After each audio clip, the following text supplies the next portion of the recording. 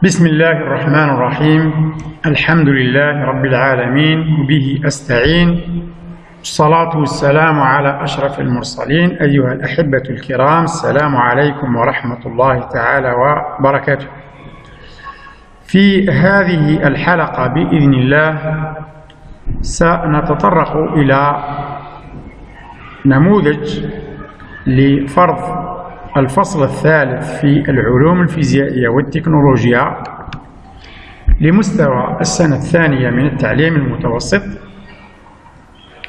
والوضعية التي اقترحناها تتمثل في الآتي. إذا فالوضعيات الثلاث المقترحة آه، هي في الأصل وضعية واحدة مجزأة إلى ثلاث أجزاء. إذا فالجزء الأول منها يقول لاحظ الوثيقتين واحد واثنين ثم أجب عن الأسئلة. أتمم الجدول التالي. أولا نحدد ما هي وسيلة نقل الحركة في كل تركيبة. إذا في الوثيقة واحد في الوثيقة اثنين. ثم نحدد العناصر المشتركة في نقل الحركة في كل وسيلة. ثم اتجاه الدوران للقائد والمقتاد ثم الهدف من استعمال هذه الوسيلة محاسن هذه الوسيلة ومساوئ هذه الوسيلة. الجزء الثاني أو الوضعية الثانية يقول في الوثيقة السابقة رقم واحد نعين نقطة على محيط السلسلة ثم رقم واحد مثل مسار حركة النقطة على مسنن الدواسة ثم مسار حركتها بين المسننين القائد والمقتاد في الوثيقة اثنين الدينامو موصول بمصباحين أحدهما أمامي والآخر خلفي. السؤال يقول هل المصباحان موصولان على التسلسل أم على التفرع؟ علل أو برر إجابتك. ثالثا دعم إجابتك برسم مخطط الدار الكهربائية لهذا التركيب باستعمال الرموز النظامية الجزء الثالث في الوثيقة واحد. السابقة يتكون المسنن القائد من ستين سن والمسنن المقتاد يتكون من عشر أسنان. المطلوب ما هي المسافة التي يقطعها الدراج عندما يدير الدواسة 100 دورة؟ علما أن قطر العجلة الخلفية هو دي يساوي 0.8 متر. إذا فبدون إطالة سنعالج الوضعية الأولى على بركة الله. إذا الوثيقة رقم واحد وسيلة نقل الحركة المبينة في هذا التركيبة كما رأيناها في الدرس تتمثل في السلسلة. ما هي العناصر المشتركة في نقل الحركة باستعمال السلسلة؟ إذا لدينا العنصر الأول المسنن الكبير الموجود في الدواسة وهو هذا المسنن كما تلاحظون وهنا سيلعب وظيفة القائد يعني هو الذي يقود المجموعة في جهاز الحركة.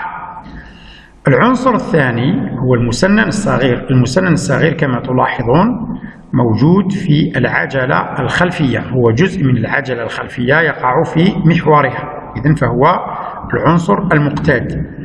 أما الذي يقوم بتوصيل الحركة ونقلها من المسنن الكبير إلى المسنن الصغير فهو السلسلة كما نلاحظ. بالنسبة لاتجاه الدوران ففي استعمال السلسلة المسنن المقتاد يتبع المسنن القائد في جهة الدوران يدوران في نفس الجهة. يقول ما هو الهدف من استعمال هذه الوسيلة؟ هنا نلاحظ ما هي العلاقة بين القائد والمقتاد. بما أن المسنن القائد هو الكبير والمسنن المقتاد هو الصغير فإن الهدف هو آه، تنقل الدراجة أو تنقل هذه الآلة بسرعة أكبر. يعني حينما يدير السائق أو آه، الدراج دواسة دراجته دورة واحدة يعني كأننا نقول آه، يتحرك هو بخطوة واحدة فإن المركبة بالكامل أو الدراجة بالكامل ينبغي أن تنتقل لخطوات وليس لخطوة واحدة إذا فهذا هو الهدف من استعمال هذه الوسيلة وهي قلنا تنقل الدراجة بسرعة أكبر ما هي محاسن هذه الوسيلة؟ إذا من بين أهم آه، شيء إيجابي فيها هو حفظ السرعة المطلوبة. يعني السرعة التي نريد أن نضاعفها فإنها تبقى محفوظة. لماذا؟ لأنه لا يقع انزلاق ولا تآكل في هذه التركيبة. إذا من محاسنها حفظ السرعة المطلوبة. من المحاسن الأخرى أنها كذلك سهلة التركيب. يعني الإنسان إذا أراد أن يركب السلسلة بين مسننين فليست بالأمر المعقد أو الصعب. من مساوئ هذه التركيبة أنها تتطلب التشحيم. لما نقول تتطلب التشحيم فهي آه، تحتاج إلى صيانة مستمرة أو باستمرار أو بشكل منتظم من تشحيم والتشحيم آه، يتطلب آه، منك توفير جانب مادي لها شراء الشحوم لها وكذلك تخصيص وقت لذلك. إذا فهذه بعض المساوئ. آه، بالإضافة إلى آه، أنها ليست مرنة. وماذا يهمنا في أنها ليست مرنة؟ يعني لا تلبي لك رغبة الدوران في الجهة العكسية. يعني فهي تجبر المقتاد أن يدور في نفس جهة القائد. لو أردنا أن يكون المقتاد يدور في عكس جهة القائد فالسلسلة لا تحقق هذا الغرض. ننتقل إلى الجزء الثاني. يعني المقارنة مع الوسيلة الثانية. في هذه التركيبة آه، نلاحظ آه، توجد العجلة الخلفية للدراجة.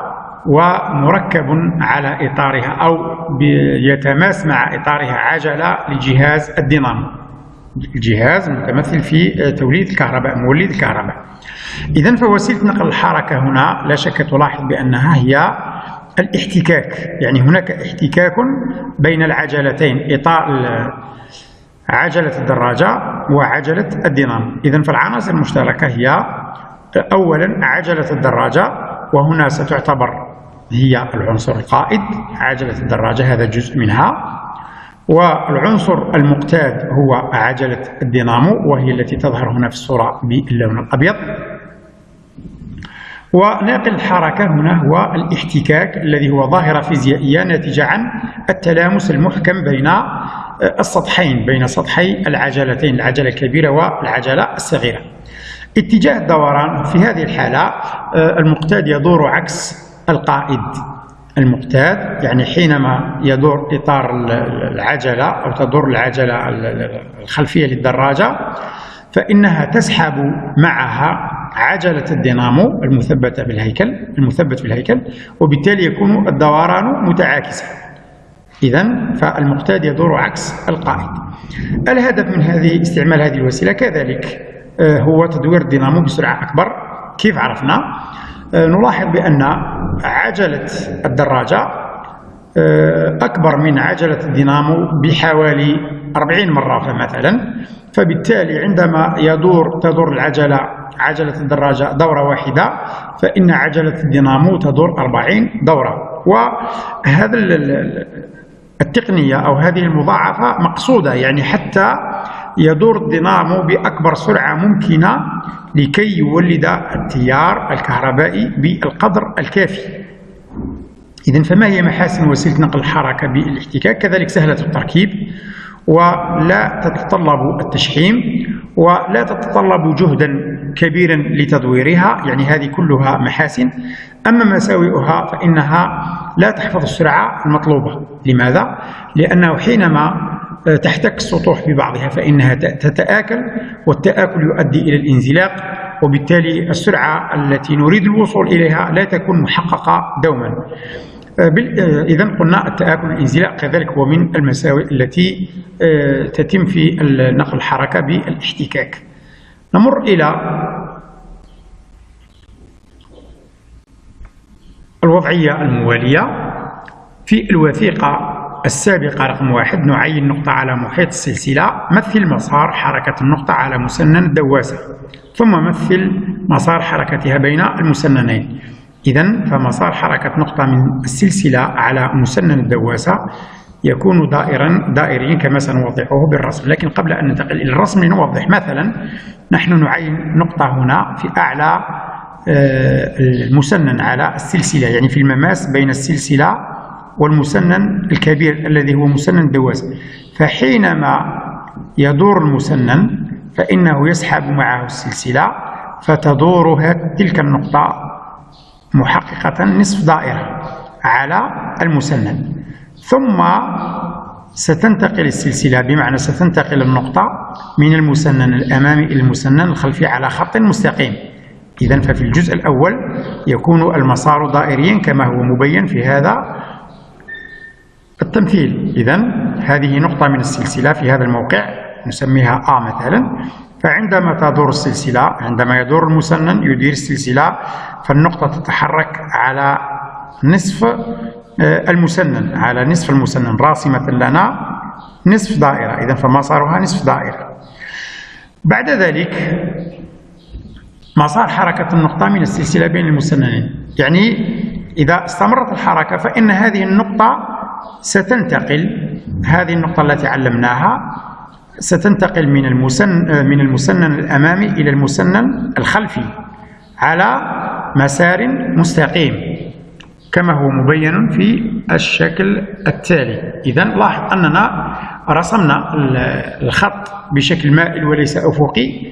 آه، ربما ربما يعني قد يكون هذا قد يكون ذاك. يعني كما نلاحظ هنا في الصورة الخط سيكون أفقيا. في نوع آخر من العجلات قد يكون مائلا. من الدراجات أقصد يكون مائلا. لا يهمنا أنه يكون أفقي أو مائل بقدر ما يهمنا أنه يكون خط مستقيم. إذا فالنقطة التي علمناها على السلسلة ستنتقل من المسنن الأمامي إلى المسنن الخلفي في خط مستقيم ومن الخلفي إلى الأمامي كذلك في خط مستقيم. إذا هذا بالنسبة للمسار المطلب الثاني يقول في الوثيقة اثنين الدينامو موصول بمصباحين أحدهما أمامي والآخر خلفي المطلب الأول هل المصباحان موصولان على التسلسل أم على التفرع؟ أكيد أن المصباحين سيكونان مربوطان على التفرع مع الدينامو كيف عرفنا أو كيف نعلل ذلك؟ لأن المصباحين أو المصابيح عموما لكي لا تتأثر ببعضها البعض لا في التشغيل ولا في الانطفاء ولا في شدة الإضاءة فينبغي أن تربط على التفرع. إذا وهذا ما نلاحظه سواء في آه، مصابيح مصباحي الدراجة أو مصابيح السيارة أو المصابيح المنزلية. أو أي مصابيح في الحياة العملية. نلاحظ بأن هذه المصابيح موجودة الذي يجمعها هو المولد فقط يعني الجزء المشترك في الدارة هو المولد. أما آه، تشغيل المصباح فكل مصباح له دارته المستقلة. الذي يدل على ذلك قلنا هو أنها مستقلة عن بعضها البعض لأن في التسلسل ليست مستقلة. يعني إذا أتلف أحد المصباحين لا يمر التيار إلى المصباح الآخر فهو ينطفئ الأمر الثاني وهو صفة التوهج فالمصباحان يحملان نفس الدلالة مع المولد ويتوهجان بصفة عادية فهذا كذلك يؤكد بأنهما مربوطين على التفرع إذا نؤكد ذلك برسم مخطط إذا فهذا مخطط باستعمال الرموز النظامية. فرمزنا للمولد هذا هو رمزه جي ويخرج منه سلكا أو سلكي توصيل.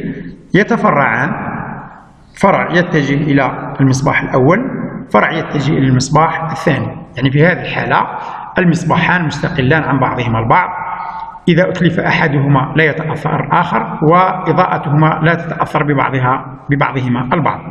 إذا هذا بالنسبة لهذه الوضعية. نمر إلى الجزء الثالث. يقول في الوضعية واحد السابقة يتكون المسنن القائد من 60 سن والمسنن المقتاد يتكون من 10 أسنان. المطلوب ما هي المسافة التي يقطعها الدراج عندما يدير الدواسة 100 دورة؟ علما أن قطر العجلة الخلفية هو دي يساوي 0.8 متر. إذا فالمسنن القائد هو المسنن الكبير والمسنن المقتاد هو المسنن الصغير كما ورد. يتكون المسنن القائد من ستين سن. إذا المسنن القائد عدد أسنانه وعدد دوراته. فعدد أسنان القائد هو ستين سن كما ورد. عدد دوراته يقول جيد المسافة التي يقطعها الدراج عندما يدير الدواسة 100 دورة. إذا تدوير الدواسة هو تدوير المسنن القائد. إذا صاحب الستين سن يدور 100 دورة. الآن المسنن المقتاد عدد أسنانه هو عشر أسنان. كم دورة يدور؟ بمعنى هو سألنا كم تدور العجلة؟ يعني إذا تسألنا على كم يدور المسنن المقتاد الصغير صاحب العشر أسنان فهنا هو نفس عدد دورات العجلة لأنه جزء منها. إذا عندما يدور المسنن الكبير صاحب الستين سن مئة دورة فإن المسنن الصغير صاحب العشر أسنان أكيد سيدور ستة أضعاف. ستة أضعاف. لماذا؟ لأن المسنن الصغير هو أصغر من الكبير بست مرات. ستين تقسيم عشرة تساوي ستة. إذا فعدد الدورات سيكون عكسي. مئة دورة في ستة. بمعنى كيف نجد؟ سنضرب عدد أسنان المسنن الكبير في عدد دوراته ستين في مئة تساوي ستة آلاف. هذا الطرف الأول من المساواة. يساوي في الطرف الآخر ستة في آن يساوي هذا المقدار ستة آلاف إذن ومنه آن الذي هو عدد الدورات كيف نجده؟